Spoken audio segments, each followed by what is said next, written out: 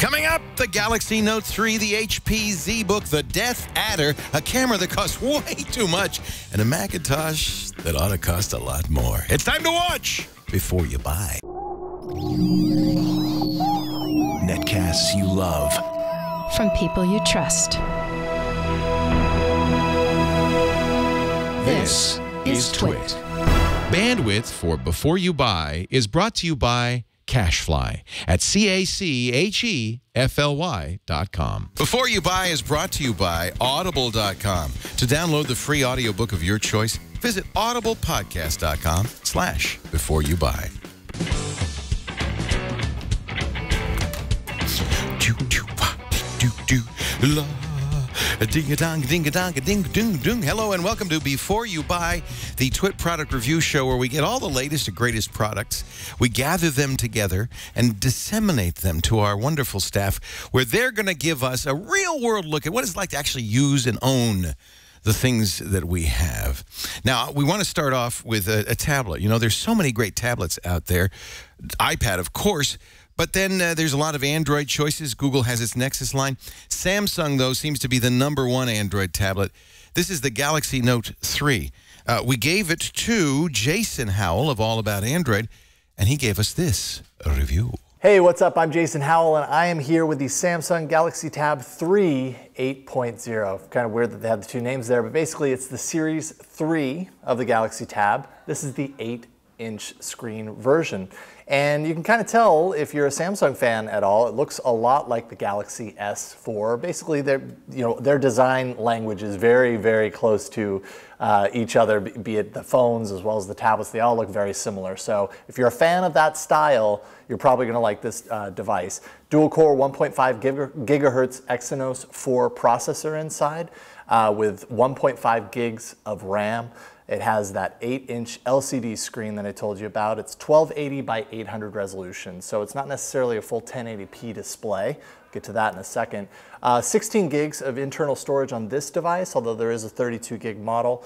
Uh, micro SD card slot if you need even more than that. There's a 5 megapixel rear-facing camera on the back, and then a front megapixel uh, front facing camera of 1.3 megapixels, a 4450 milliamp hour battery inside that is non-removable. This case does not come off. Uh, it also has an IR blaster that you can see right there. So if you want to use it with your stereo or your home theater system, you can. This device is running 4.2.2 Jelly Bean, and it should be noted that there is no NFC on this device, so if that's a, a deal breaker for you, you're not going to find it here. Uh, we'll start with the design. I mean, as I said, it looks a lot like the Galaxy S4, just like a bigger version of it, obviously. Uh, it has the plastic design, but thankfully, and I'm not the hugest fan of, of, plastic when it comes to the design of tablets and phones, but it feels pretty sturdy, pretty solid, uh, considering you don't get a lot of like those creaks when you when you bend the device or anything like that. Often, my complaint with a tablet is that the edges are so sharp that it digs right into the palm of your hands and it becomes really uncomfortable over time. So the rounded corners are definitely appreciated. You have a little bit of the kind of faux chrome uh, outlinings on the sides as well as the stylings around the camera which kind of give it a nice little pop. Still a menu button, uh, a capacitive menu button on the device. Samsung has clung hard to the menu button even though Google has pretty much said with Android, I think it was uh, Jelly Bean uh, initially, that the menu button's going away. And now onto performance, which is where the tablet kind of starts to fall apart a little bit. Dual core processor, which some people would say, hey, you know, that's, that's gonna be sufficient for most needs. But I kind of saw it like in the responsiveness, you can see the notification pull down. Sometimes it would take me two to three times to get it to register uh, a touch uh, in doing that. Other times it would pull down fine. It just really, you never know what you're gonna get. Browsing the web, uh, was okay, but again, when you're scrolling through a big web page, there's just a little bit of extra jitteriness when you're scrolling through, and you, you detect it more and more over time. Playing games, I played Dead Trigger 2, Riptide GP2, Real Racing 3, and overall, they were they were pretty enjoyable. But again, just little you know jittering and uh, stuttering throughout the gameplay that would crop up here and there that would just kind of pull you out of the experience. Uh, the camera is almost not even really worth talking about, and cameras on tablets rarely ever amount to much. But on here, you get what I would expect. You know, pretty washed out photos unless you're in excellent punchy light. It's probably best uh, suited for video conferencing. Battery, what more can I say? Solid performance. The battery didn't really run out on me, although I did notice that standby time, if I left it in my bag uh, for a little while, you know, wouldn't last more than a couple of days. Standby time actually seemed to not be that great. And then of course there's the software, which is Samsung's TouchWiz UI. Uh, certainly has its fans. I wouldn't necessarily say that I'm the hugest fan of TouchWiz, but I really gave it a shot here. A multi-window mode that allows you to pull up two different uh, pages side by side. That was really handy. Smart Stay, which actually uses these sensors to track your eyes, and if your eyes are staring at the screen and it knows it, it'll keep the screen on. Doesn't matter what your screen time timeout settings are. There is no gesture support on here though, like there is on the S4, so keep that in mind. And I just have to go ahead and go on the record and say the Samsung built-in keyboard is horrible. I man, I, I, you get more wrong than you ever get right with the Samsung keyboard. But uh, overall, you know, TouchWiz brings a certain level of extra features to their devices, to Samsung devices, and if that's something that you're looking for, a little bit extra on the software side, then TouchWiz is excellent for that. All right, now let's take a look at the pros of the Samsung Galaxy Tab 3 8.0. First, there's the display, which like I said, it's a 720 display, but it's perfectly sufficient and a very nice display uh, considering that. Uh, some software features that are included with TouchWiz are actually very handy and useful, so that gives you a little bit of extra usefulness out of your tablet purchase. Uh, on the con side, I would definitely say performance and responsiveness were an issue throughout the user experience, and uh, I definitely noticed it more the, the, more I used the tablet. And then price compared to the competition. You know, the, the uh, iPad mini is you know, maybe 20 or 30 bucks more than the Galaxy Tab 3 8.0. The Nexus 7 is better spec in some ways, and it's definitely a lot less than this tablet is, so price is definitely an issue here. Having said all that, it's not that this tablet is necessarily bad in any real way, but it's also not really great in any real way either. I don't walk away from this review thinking that there's one particular thing that this tablet is especially good at. And you, know, if you're gonna recommend it to people to buy, you want at least some reason to recommend them to do so. If you're a big uh, fan of Samsung, TouchWiz, their hardware aesthetic, you're probably gonna like this device. For everyone else, there are much better options out there in this eight, seven to eight inch form factor for tablets uh, at possibly a lesser price than the Samsung Galaxy Tab 3 8.0. I'm Jason Howell, and you can check out all of my reviews on All About Android at twit.tv slash AAA. Thanks for watching my review. Thank you to Jason Howell uh, from All About Android Galaxy Tab 3, not the Note 3. I have the Note 3. that's the one I reviewed. That's the phone that's only slightly smaller uh, than this one. Let's talk laptops. HP has a new uh, laptop it calls the ZBook. Our very own Shannon Morse, the producer of this show, uh, co-host of Coding 101, uh, and a regular, of course, on Hak5, took a look at the ZBook. Shannon? Hi, my name is Shannon Morse. I'm the producer of Before You Buy, and today I have the HP ZBook 14, which looks like a regular laptop, right? An Ultrabook, but in reality, it is a mobile workstation. So this baby costs, well, starting at $13.99, but it can go all the way up to $23.99 a little bit more than that. The one that I have here is $23.99, so a little over two grand. And it is targeted towards not your usual consumers, but a, a, engineering market. So this is for your editors and your animation workers, your CAD workers. So this is made for professionals. And honestly, when you see the insides of this, you can really tell it's made for professionals. So I'm gonna do something right now. This looks a little crazy, but, oh no, I broke it. All right, not really, but you can see here that you have a lot of upgrade options. You can pull things out, you can swap the battery. On the insides, we have Windows 7 Professional bit, which is great, 64-bit. It also includes an Intel 4th generation i7 processor, so top of the line, excellent quality. You also get, get this, 16 gigs of RAM because who doesn't need 16 gigs of RAM, right? And there's also a 240 gig solid state drive. Some of the cheaper options do include hard disk drives if you want more memory on that side instead of the smaller solid state drive, but I prefer solid states myself. It also includes Bluetooth 4.0 and Wi-Fi, but there is an option, an upgradable option for 4G, mo uh, 4G mobile broadband module as well. And you can just simply plug that in and upgrade it. Yay, how fun. Now the GPU, that's discrete graphics. It includes an AMD FirePro M4100. So that's fun too, yay! So I really, really like the upgrade options on this and the fact that you can just upgrade your RAM, you can upgrade your solid state drive if you want to, you can swap out your battery while you're on the go. Say you're in your car and you're going to your next on the field job, swap out your battery, put the new one in. Very important for professionals and I really like that they included that. So on the right side, we have DisplayPort, a USB 3.0, there's two USB 3.0s, and a full Ethernet port, which is very important when you're on the go. There's also a hidden SD card on the bottom. It includes a little docking station for that. And there is a docking station for your Elite uh, HP books. So you can dock it into a, a docking station as well if you're just sitting at your desk. On the other side, we have a Kensington lock, VGA, and two more USB 3.0s, as well as a smart card port. So pretty much everything that you could want. The only thing I think is missing would be HDMI, but you do have your docking port and your other display ports, so not too bad. The webcam on this is 720p. Honestly, with that professional grade quality, um, I think 720p is just fine for a webcam. And the speakers do get pretty decently loud on this. They're pretty average for a laptop. Now let's move on to the screen. This is a 14 inch anti-glare screen, very important when you're out in the sunlight, of course, on the field again. And it's 1920 by 1080. A little bit lower resolution, but not too bad. Again, it's full HD, so I'm okay with that. The keyboard and the touchpad on this are so, so nice. I'm always super picky when it comes to my touchpad, so I'm absolutely in love with this thing. The keyboard is a chiclet keyboard, but it's spaced far apart, far enough apart that it gives you no problems whenever you're trying to type out reports and things like that. The touchpad is very smooth, it's very easy to use, it doesn't stick, you don't find yourself moving around on the screen where you're not trying to click, so it's very useful. And there's also a physical right and left click buttons. And for you guys out there who are still used to having a pointing stick in the middle, the little nub in the middle of the keyboard, it's there for you just in case you needed it. So let's move on to my pros and cons with this device. First off, the pros.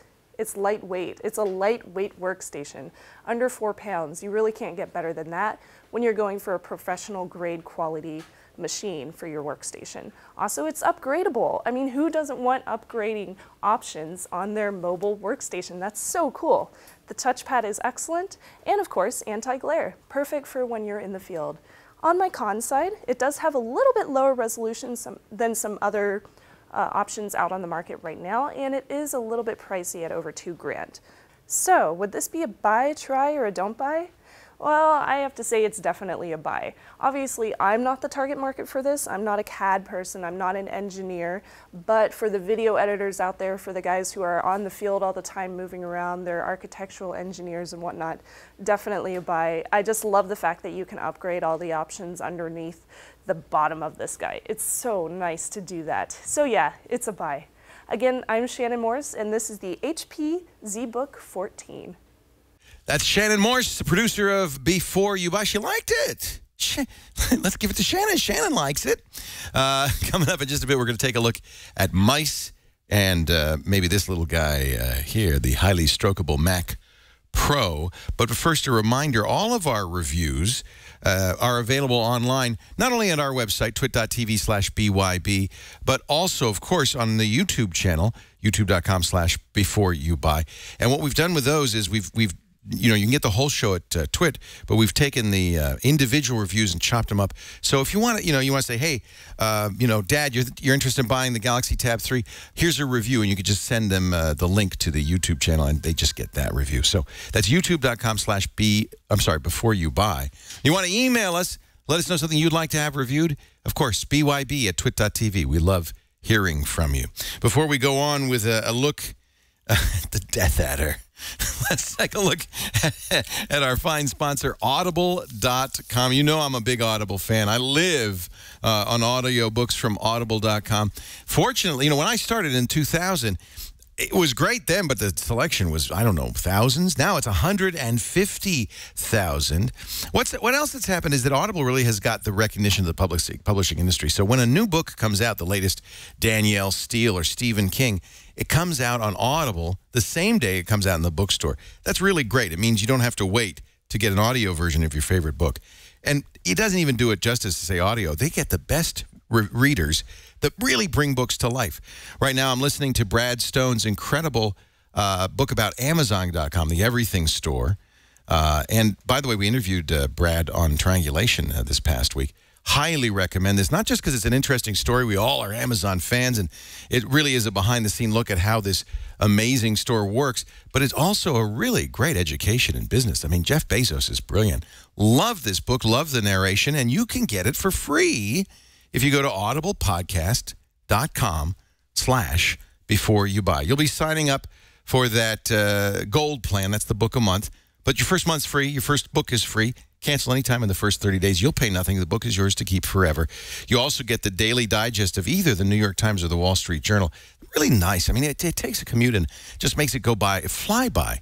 Same thing, uh, you know, doing the dishes, walking the dog, anything where you'd like to read, but you just, your hands aren't free to hold a book. Audible. In fact, frankly, at this point, I'm such an Audible fan. I listen even when I could be reading a book. That's how I consume great literature, nonfiction, history, uh, thrillers, and of course, the best science fiction in the world. Audiblepodcast.com slash before you buy. Well, everybody knows, uh, I think, uh, about the Razer mice. It's a great gaming mouse. But do you know about the Genius Cam, the Genius Energy, or the Phoenix? A mouse roundup next with Padre SJ, Father Robert Ballecer of This Week in Enterprise Tech. Let's take a look. I'm Father Robert Ballecer, the digital Jesuit, with a specialty mouse roundup for before you buy. We've got two combo mice from Genius, a left-handed gaming mouse from Razer, and an executive mouse from Phoenix. The Cam mouse is a corded USB optical mouse from Genius with an integrated camera on the underside of the unit. As an optical device, the Cam mouse is, well, a mouse. With three buttons plus a scrolling wheel, it's a competent, if not entirely unique design. Where it becomes interesting is when the mouse is flipped over and a trapdoor reveals a camera. The 2 megapixel sensor is triggered by a button on the left side of the mouse, and Genius positions it as a way to scan QR codes and take quick pictures for use on the internet. The Genius Cam mouse sells for about $22. The wireless energy mouse is another combination device from Genius, putting together a 1200 DPI 2.4 GHz wireless mouse and a 2700 mAh battery for powering USB devices. The mouse portion of the combo is actually pretty good. It's large enough to comfortably cup in an average sized hand, and the 3 button plus scroll wheel design is responsive and clicky. The underside of the mouse has an on off switch and a slot that serves as the storage bin for the wireless transceiver. On the charging side, the Genius Mouse has a charging port at the front of the mouse and a standard USB port on the back. A button below the scroll wheel activates the battery and a 4 LED indicator tells you how much charge is left in the mouse. The mouse can charge most all non-tablet USB devices, and it has a backup battery so that using the charging function won't accidentally kill the mouse. The Genius Wireless Energy Mouse is available for $27. The Razer Death Adder 3500 PC gaming mouse is a left-handed version of their popular Death Adder series of devices. Using a 3500 DPI Razer Precision 3.5G infrared laser sensor and a 5-button configuration, the Death Adder has a 1 millisecond response time and 1 GHz polling. This allows for on-the-fly adjustment of DPI and liquid smooth movement. Anybody who has ever used a Razer mouse can expect the same quality build in their left-handed unit. It's responsive, smooth, and stylish with traditional molded sculpting and three Teflon feet. It uses a braided cord, gold-plated connector, and gentle blue illumination. The Razer Death Adder 3500 left-handed edition sells for $57. The Feenix Nascita is a high-performance gaming mouse with executive style. It features an 8200 DPI Avago 9800 laser engine and lens with a 1 millisecond response time, 12,000 FPS, and 150 inches per second rating.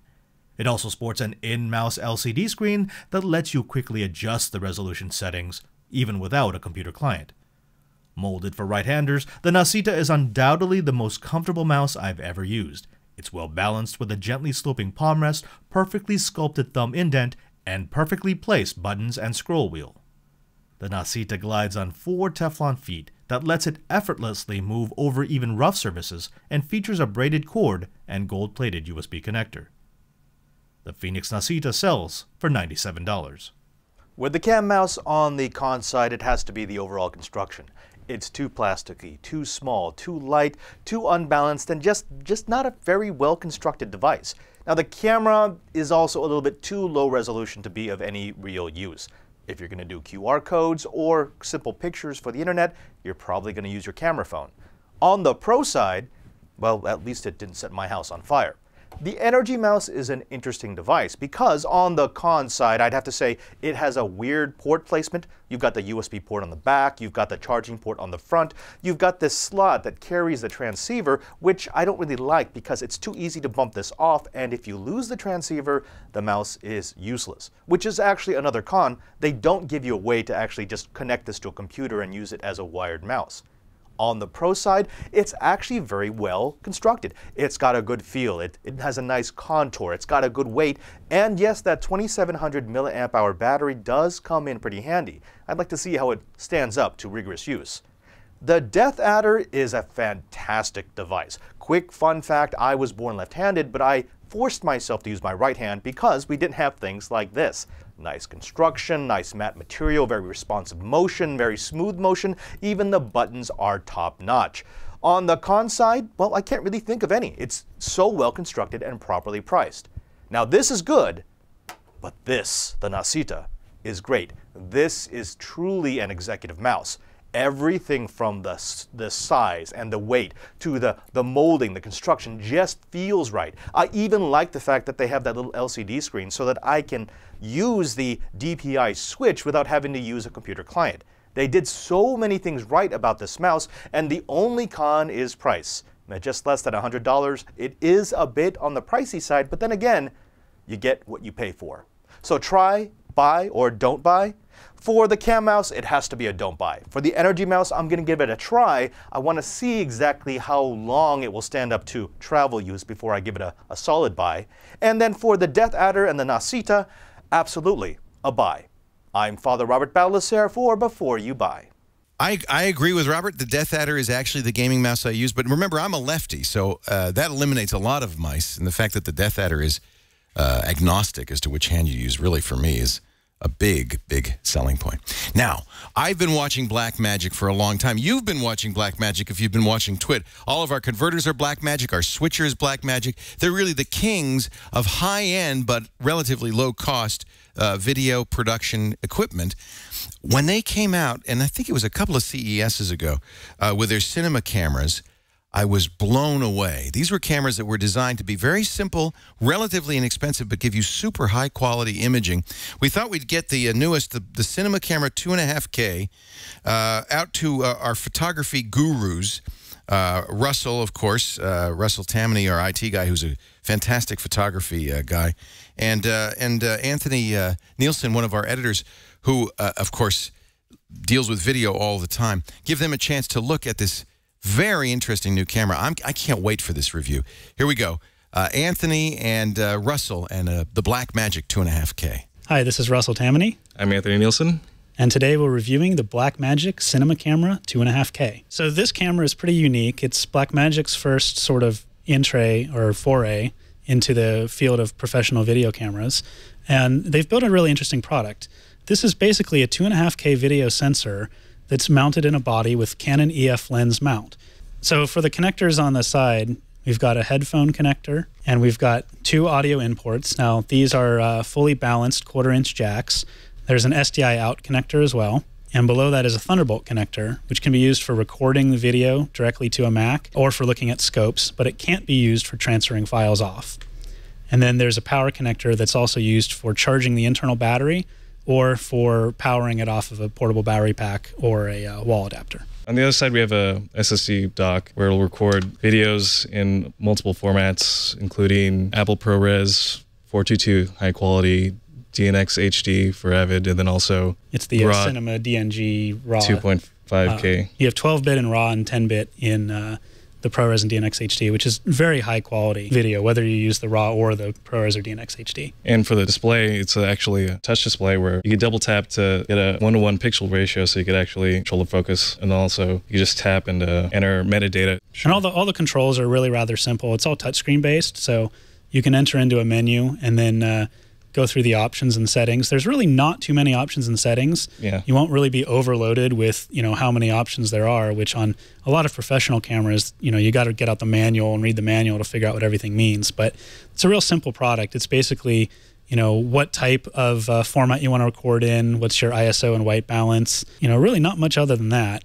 Other features, uh, you have your iris, which will automatically make sure you're not clipping your exposure. So you're just right under 100% exposure. Then also focus, which will highlight the focus area. This really isn't the, the normal kind of product that we'd review here on Before You Buy because it's not really intended to be a consumer product. Um, it's really intended to be a professional video recorder.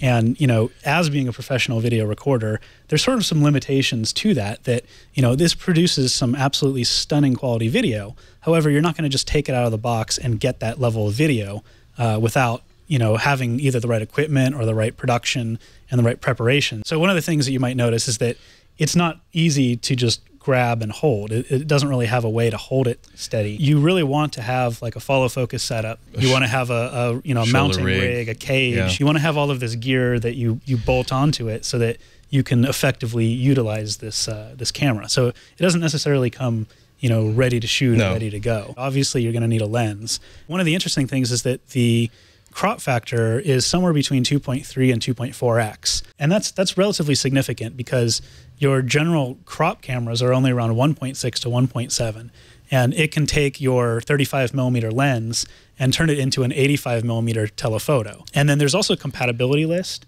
Not every single Canon EF lens works with the aperture control or works perfectly with it. So you still might want to take a look at that list before assuming it's going to work with your lenses. We should also mention that this camera comes in a micro four thirds. Yeah, so there, there's a micro four thirds, which is um, closer to the. Oh yeah, the micro four thirds is, is, a lot closer to the actual native sensor size. One of the big features this camera touts is 13 stops of dynamic range. Having 13 stops of dynamic range, what that means in practice is that you can shoot a scene that has a lot of contrast, like from dark to bright, but what you get back out of that file is sort of more like a raw image. It's it's a lot like what you'd get out of a DSLR without processing the image at all. So it's sort of like, you know, you haven't applied contrast and saturation, sort of like color grading. So what you see in the film profile when you get it back is a very flat and neutral image. And at first you're wondering like, you know, why is is this, you know, image look like this? Yeah. You know, this this camera's supposed to be amazing. And then as you take the image in and process it, you realize that you can bring whatever character you want out of that image. You can, you know, make it poppy and vivid and, and sharp. Yeah. You can make it muted and, and look a lot like uh, natural film. And you have all the latitude of actually working with the video once you get it back to make creative decisions, you know, in your timeline where I had this 38 minutes of video and now I could go in and take each individual section and decide how I wanted to process that section and how I wanted it to look and what color profile I wanted it to have to get the most dynamic range and to get the most quality out of the camera, you have to shoot it in the two and a half K RAW mode. Correct. And when you do that, um, how much uh, can I fit on a 256 gig SSD? well, you know, RAW, RAW yeah. is relatively large. No, it's uh, it's about five megabits per frame. So on a 256 in 30 at 24 frames, you'd run out in 30 minutes. Okay, and so so for every 30 minutes, you're going to have about 250 gigabytes correct. of video. And then not only that, you're going to have to ingest it using Blackmagic's DaVinci Resolve, which you actually include with this, which is a pretty good deal considering that's a thousand dollars. Yeah, so that's that's Blackmagic's um, kind of color grading and processing software. For pros and cons, we, we both, both kind of basically did them separately and then and then looked at our notes and realized that we both have, the, have same, the same pro yeah. and cons. One is for a little under two thousand dollars. Like there's yeah, no I mean, other the, the way you could get this quality. This is two thousand dollars and this is fantastic quality video. It's sort of like the difference between shooting JPEG and RAW on a DSLR. Which comes uh, to our next pro is picture quality, which picture is quality. just amazing. I've shot stuff with a lot of different SLRs and um, you know mirrorless cameras and things like that and I've not seen video quality like this, you know, back on my you plug it back in, load the video up in uh, Premiere or Final Cut, and you look at the video, and you're just like, wow, this is, produ- you know, this is production quality. This is something right. that you could put out on a major network. Which leads to my next pro, which is the, the reason why you can tweak that image is the recording formats, which, you know, on, on an SLR, you'll have MPEG 4. yeah, like an, an SLR already records to some sort or of lossy, compressed, or lossy. you know, a- AVC, you know, kind of format where you get this kind of compressed look, and now you have to take that compressed stuff and edit it and compress it again. What about your cons? So the first major con that I noticed was the audio issue. You know, you can't. The onboard mic is really terrible. It's basically just so you have audio on your track so you could sync up your clean audio that you use on a recorder It's not intended to be used as no, an actual audio not, track, no. and it picks up the fan noise. And even when you use the quarter inch jacks on the side, they are balanced, and so you can use um, an actual XLR microphone with them with the right cable. However, it won't provide phantom power, and the audio quality of it just didn't seem that great. So I would highly recommend using an external recorder and then just Mm-hmm. syncing the audio up. Another con is um, there's no media management on the camera itself. You're gonna have to pull the hard drive out. Right. so you saw that you we, we can we can label the clips. Yeah, you could label the clips just fine, and you know add tags, But and you could play through them. But you can't. There's no way to delete it. there's no way to delete the clip. And Or so if you if you yeah. accidentally were recording a bunch and you wanted to kill that clip, you, No. you you have to dump it to a computer. Yeah, and there's actually no way of seeing how much space is left on the hard drive either. Right. And Uh, I think I think my final con, which you agree with as well, is just the battery life. oh yeah, It, it the built-in battery. It's nice that it has it as opposed to not having a built-in battery. right, right. Um, but it really just doesn't last long enough to use in the field. So you're going to have to be carrying around battery packs, which are a little clunky, and then you got a cable to attach. Yeah, I mean, it, would have been nice if it had a an interchangeable battery. That's the big problem is not being Yeah. able to swap the battery for Yeah. another battery means that you have to have a battery pack with the DC Yeah. adapter. Buy, try, don't buy. Considering all of these, um, you know, features with this camera and the kind of, you know, it's got some cons, but you know, I think the pros outweigh the cons, and I think it's Definitely. a buy. Um, it's something that you would have to consider. Uh, you know, I, I sort of wanted to give it a try, but I think I have to give it a buy uh, because if you're the person that's looking for this type of camera, there's nothing else in the price range that you can touch. So, you know, it's it's definitely a buy, and you can use all the money you save to you know buy all of the other gear and the tripods gonna and the need, cages and the audio recorders and the Definitely SSDs and the lenses, and Shoulder mount and everything. shoulder mount. Yeah, I totally agree with you. I too think it's a buy. If you're that up and coming indie filmmaker, this is the thing that you're looking for. That's the Blackmagic 2.5K. There's also a 4K Blackmagic camera. It's a little bit more expensive. But I got to say, yeah, it sounds like a lot, $2,000.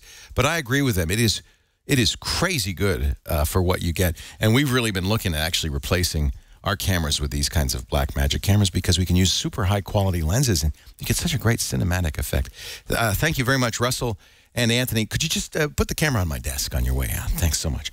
Now, let me show you my new baby. If you watched MacBreak Weekly earlier today, you saw me fondling the Mac Pro, and I owe a real debt of gratitude to a guy named Ed Ingber. He is a ham and a, and a watcher, a viewer. He he owns a brick. He bought this Mac Pro. I think they went on sale like what December 19th. But if you didn't get up at midnight and order it, you still don't have it. Only only people ordered in the first few hours before 3 a.m. were able to get their Mac Pros uh, before the end of the year. The rest of us, and that included me, had to wait. Now, Ed bought his, he says at 1 a.m., uh, and uh, decided he didn't want it. He thought, you know, as great as the Mac Pro looks to be, it's very expensive.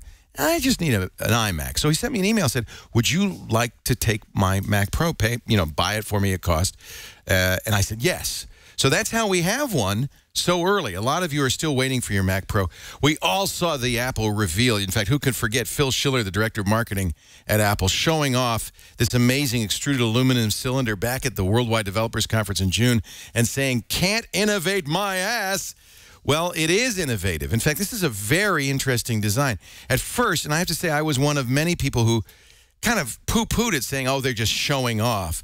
But I got to tell you, they're not. This design is actually very practical. Practical. Now, this is a very uh, dense, thick, extruded aluminum. So, of course, this conducts. And then there's only one fan, and it's a big fan in the bottom that blows air up through a hollow core, a thermal core in the middle, and then out the top. So the key on the new Mac Pro is that you have to keep the bottom clear and the top clear. Now, I've exercised this thing like crazy. I've made it do the hardest work I've made any computer do, and it never even broke a sweat. It literally did not get hot. It's also dead silent. So quiet that when I first hooked up an external drive, I said, "What is that whining sound? Is my Mac Pro?" Oh, it's the hard drive inside the external drive. This thing is silent. So, a beautiful but very functional design. They highlighted the fact that when you turn it, it lights up the connectors. And let's take a look at the connectors. You'll see four USB 3 connectors. There are six Thunderbolt 2 connectors, two gigabit Ethernet ports, of course, audio in and out, and, and then the usual, you know, HDMI port on off switch and power plug. That's it. This is an, oh, oh there's one more switch, and I don't know what's going to happen, but I'm going to take a chance. You can also lit, well, I'll have to disconnect everything, but you can lift this off. I should do that, shouldn't I? I'll do it at the end. I'll tell you what, because I'll have to disconnect everything. But you can lift this off like Darth Vader's helmet and see inside it. And you see what a beautiful design this is. No moving parts. It's one of the reasons it's so quiet. SSD drives, dual PCI Express buses. That means they're very, very fast. The ROM is removable and upgradable. One of the few things you can upgrade in here. Although Other World Computing, when they took it apart and iFixit too, noted that the CPU, the Xeon CPU in here, was socketed. So in theory, you can upgrade the CPU at some point down the road. You can also in theory, upgrade the dual uh, video cards in here. Now, the starting configuration uh, is a whopping $3,000. And by the way, that doesn't include mouse, monitor, keyboard, just the cylinder, a plug, and two black Apple stickers. $3,000. You may be spending even more. You'll see the next level up, the six-way uh, Intel Xeon E5 uh, running at 3.5 gigahertz is $4,000 with 16 gigs of RAM. And uh, you can go on up. You're probably going to want to load it up because the kind of people who buy this are not so price sensitive. They're professionals who are editing video or rendering 3D objects, doing high end Photoshop, something that they need a lot of speed because, frankly, this is overkill for almost everybody else. If, if you're doing spreadsheets, if you're doing simple Photoshop, you don't need this. And the fact that it's so expensive perhaps makes it prohibitive uh, in terms of something that you'd want to have on your desk. You'll note how small it is uh, you really don't get a sense of it until you're in in person. In fact, it's easy to lift. Oh, I just I I shouldn't have flipped that switch. Well, as long as we've done that and rebooted the machine, let's unplug it and I can show you what's inside here. Um, I, I flipped this unlock switch inadvertently, and so now I can just lift this off, and you can see here's the fan, here's the thermal core going through. The CPU is underneath in here. It's got dual GPUs. There's one. Uh, there's the other on top of that. I believe that's the hard drive. This is the uh, the RAM on standard sticks there and the connectors. The reason there's so many connectors, well, there's really very little you can upgrade in here. You're absolutely going to want to get, for instance, an external Thunderbolt 2 drive. You're going to want to get a, a 4K monitor. It's fast enough to support that. But here's the problem. If you buy it right now, there are very few good Thunderbolt 2 choices. Uh, in fact, as far as I can tell, there's one or two. Almost all of them are coming soon. You don't want to get a Thunderbolt 1 drive. This is, for instance, a, uh, a Buffalo drive with a Thunderbolt interface, but it's not very fast. It's a slow drive inside. And really, this is basically a USB 3 device that they've added a Thunderbolt interface to. It's in all likelihood to keep up with the speed on this, you're going to want to get Thunderbolt 2 SSD drives. Those are going to cost you more than the computer itself. Furthermore, if you really want to take advantage of the 4K display, there's only one in the Apple Store right now. That's the Sharp for $3,500. There's an Asus out there as well that uh, supports the faster refresh rates you want. That's also $3,000. The inexpensive 4K displays we're seeing from companies like Lenovo at CES are only 30 hertz refresh rate, and I do not recommend them. So 3000 to start for the Mac Pro, another 3000 for a single 30-inch monitor, and you're probably going to want a RAID enclosure with SSD or very fast hard drives on the Thunderbolt 2. That's going to set you back at least $1,500. Suddenly you realize this is a $10,000 computer. and most people don't need it, but if you're one of the people who does, it is a wonderful thing. I have to say, I don't need it, but I brought it home. I fired it up started playing with it, and I fell in love immediately. This is a computer with personality. Apple is the best at making computers that, that just make you kind of love them. I love the design. I was a little skeptical at first. If you need a computer with this kind of power and you know who you are, there is nothing, no PC, nothing that can compare to the brand new 2013 Mac Pro. Pros and cons. The pros, of course, the design. The industrial design is gorgeous, well thought out, and highly functional. I have to say, it really does the job. Uh, it's also extraordinarily fast. When I did the benchmarks on the SSD, I saw speeds that I'd never seen before. It reads, according to the Blackmagic, uh, Magic Disk benchmark, it reads these internal SSDs at very close to a gigabyte per second. Imagine transferring data at a gigabyte per second. Unbelievable. Um, the cons, well, you're going to need some very expensive peripherals. In fact, the whole thing is just ridiculously expensive. However, I've got to say, if you're the person who needs this kind of speed, or you've got enough money and you and you really have an appreciation for design, there's no question in my mind this is a buy. I like this better than I thought. This is the Mac Pro 2013. Apple's just knocked this one out of the park. And that's it for Before You Buy. I hope you enjoyed our show. Our thanks to our producer, Shannon Morse, and all of our reviewers. Our thanks to you for watching.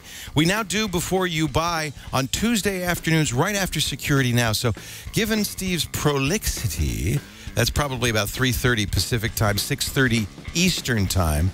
Let's do some quick math. I think 2330 UTC on twit.tv. We do love it if you watch live, but never fear. There's always on-demand versions of this show after the fact, audio, video at twit.tv slash BYB. And of course, as I mentioned on YouTube, at youtube.com slash before you buy. I'm Leo Laporte. Thanks for joining us. Remember, you got to watch before you buy. We'll see you next time. Bye-bye.